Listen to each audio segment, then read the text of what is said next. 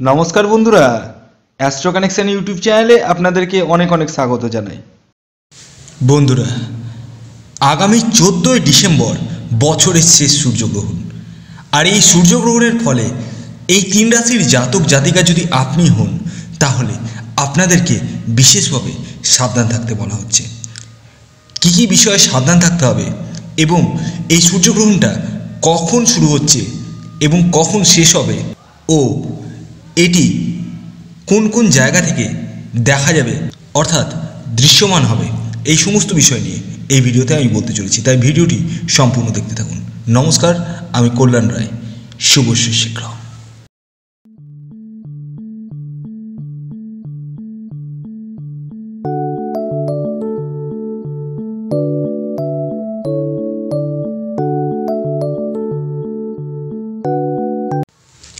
বছরের শেষ সূর্যগ্রহণ, চোদ্দোই ডিসেম্বর দু হাজার কুড়ি।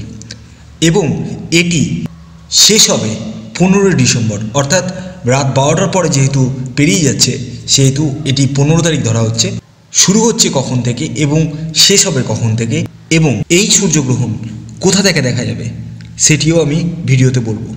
তার আগে, যারা অনলাইন আমার সাথে কনসাল্ট করতে চান, অর্থাৎ জন্মছক বিচার করাতে চান তারা স্ক্রিনে দেওয়া হোয়াটসঅ্যাপ নাম্বারে যোগাযোগ করতে পারেন। একটি কথা মাথায় রাখবেন, এটি কেবলমাত্র বুকিং নাম্বার তাই তারাই কেবল যোগাযোগ করুন যারা জন্মছক বিচার করাতে চান। আর হ্যাঁ এই নাম্বারে কল না করে হোয়াটসঅ্যাপে যোগাযোগ করুন, কারণ কল রিসিভ করার সবসময় সম্ভব হয়ে ওঠে না। তাহলে আসুন, জেনে নেওয়া যাক, বছরের শেষ সূর্যগ্রহণ চোদ্দোই ডিসেম্বর দু হাজার কুড়ি।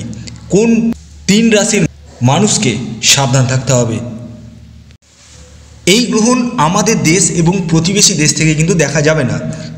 এই গ্রহণ দেখা যাবে দক্ষিণ আমেরিকা থেকে, দক্ষিণ প্রশান্ত মহাসাগরীয় যে দেশগুলো রয়েছে সেখান থেকে এবং দক্ষিণ আফ্রিকা থেকে।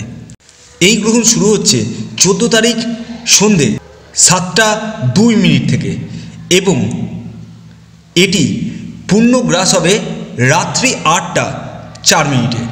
পূর্ণগ্রাস এই গ্রহণটি শেষ হচ্ছে এগারোটা পঁচিশ মিনিটে এবং গ্রহণটি ছেড়ে যাচ্ছে রাত বারোটা চব্বিশ মিনিটে।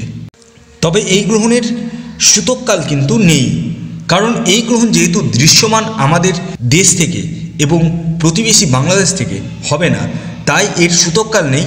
তবুও এর বারো ঘণ্টা পূর্বে এফেক্ট কিন্তু স্টার্ট হয়ে যায় এবং গ্রহণের বারো ঘণ্টা পর সেই এফেক্ট কিন্তু আফটার এফেক্ট থাকে। তো আমি সকল রাশিকে একটি কথা সাজেস্ট করব, এই গ্রহণের সময় কিন্তু আপনারা কোনো শুভ কাজ করবেন না বা শুভ কাজে যাবেন না। টাকা পয়সার লেনদেন এই সময় করবেন না। যারা সন্তান সম্ভবা মহিলারা রয়েছেন, তাদেরকে একটু সাবধানে চলাচল করতে বলবেন। এবার আসুন, আমি আপনাদেরকে জানিয়ে দিই কোন সেই তিন রাশি যে রাশিগুলি সূর্যগ্রহণের ফলে অর্থাৎ বছরের শেষ সূর্যগ্রহণের ব্যাড এফেক্ট পেতে চলেছে। তো প্রথম যে রাশির কথা আমি বলব, সেটি হচ্ছে মেষ রাশি। হ্যাঁ বন্ধুরা, আপনি যদি মেষ রাশির জাতক বা জাতিকা হন, তাহলে আপনারা সূর্যগ্রহণের সময়কাল থেকে, অর্থাৎ চোদ্দ তারিখের বারো ঘণ্টা আগে থেকে সজাগ এবং সতর্ক হয়ে যান। কোন কোন বিষয়ে সজাগ হবেন, এই সময় আপনারা কোনো ক্যাশ রিলিংস করবেন না। এছাড়াও এই সময় আপনারা যে কোনো রকম শুভ কাজে যাবেন না এবং এই সময় আপনারা লটারি সারটা এগুলোতে টাকা ইনভেস্ট করবেন না। কোনো বাহন ক্রয় করবেন না। জায়গা, জমির জন্য কোনো অ্যাডভান্স বুকিং দেবেন না। এছাড়াও যারা গর্ভবতী মহিলারা রয়েছেন, তারা বিশেষ করে সাবধান হয়ে যান। এরপরে যে দ্বিতীয় রাশির কথা বলব, সেটি হচ্ছে বৃশ্চিক রাশি। হ্যাঁ বন্ধুরা, আপনারাও কিন্তু এই সূর্যগ্রহণের ব্যাড এফেক্ট পেতে চলেছেন।